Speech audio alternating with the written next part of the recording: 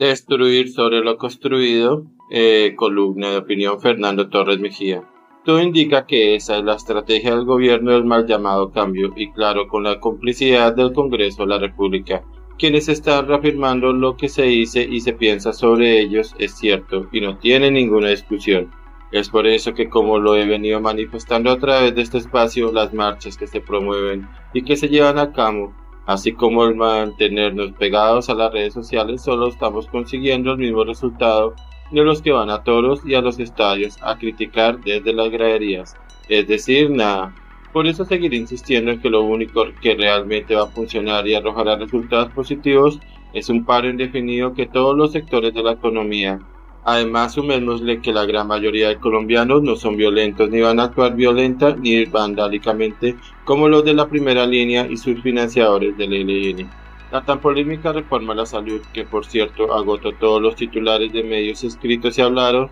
que se convirtió por momentos en un pulso político en el que se llegó a pensar que los ganadores serían los colombianos, simplemente en la noche de este jueves fue aprobada casi en su totalidad en la Comisión Séptima de la Cámara. Ahora seguirá la plenaria de esa misma corporación para luego ser remitida a la Comisión Séptima del Senado y finalmente a la plenaria del Senado, donde muy seguramente y a pesar de ese recorrido no pasará nada y quedará igual al proyecto inicial que a propósito le costó el puesto a la señora Carolina Corcho y que claro, desde entonces, podrá decir, se hizo lo que yo quería.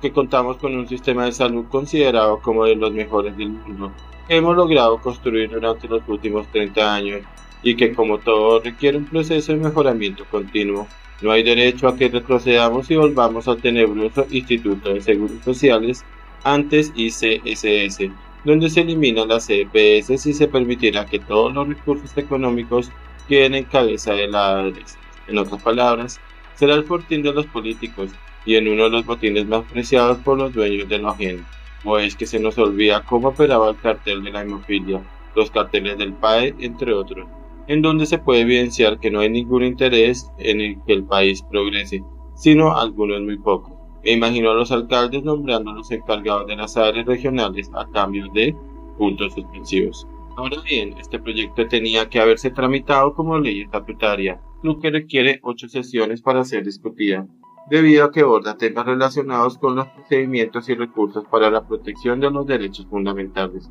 y no como ley ordinaria donde solo tendrán cuatro sesiones, lo cual constituye una falta grave, por lo que quedará en manos de la Corte Constitucional, que si aún no se ha dejado tentar por la mermelada, tendría que declararla inconstitucional y tumbarla. En otras palabras, los colombianos tenemos esperanzas de que este gobierno y su Congreso no acaben con nuestro sistema de salud. De acuerdo con un documento firmado por algunos exministros y el director del Departamento de Planeación Nacional, Jorge Iván González, se plantea que el costo de la reforma en su primer año de implementación, 2023, asciende a los 16.9 billones, en 2024 21.9 billones, en 2025 a 24.4 billones, en 2026 llega a 26.7 billones y en 2027 a 28.9 billones de pesos, es decir, 118.98 billones de pesos en estos cinco años. Pero es que además existen riesgos asociados que deben ser analizados y que podrían elevar su costo fiscal. Entre estos el de la atención primaria, que superaría lo inicialmente previsto. De igual forma, la eliminación de las EPS generará pérdidas de capacidad para limitar el costo de los servicios de salud. Se verán afectadas las regiones por la insuficiente capacidad para la gestión de recursos. De igual forma, por la incapacidad de gestión que todos conocemos del Estado, se tendrán riesgos en la prestación de los servicios. En materia de la reforma pensional se deben hacer esfuerzos para que se reduzca el umbral del pilar contributivo de Colpensiones a un salario mínimo legal vigente y no a tres como se pretende pues esto acabaría con los fondos privados y quedaría todo en cabeza del Estado. Otro de los puntos que no se debe permitir es que los recursos del Fondo del Ahorro se utilicen para financiar el pilar semicontributivo, porque sin duda desfinanciaría el contributivo y también es menester de los responsables de la aprobación que el 100% del ahorro individual que reciba Colpensiones se deje como ahorro obligatorio y no se le dé otra destinación. Pero este es solo comienzo del festín del cambio. Seguirá la reforma laboral en la que a pesar del informe del Banco de la República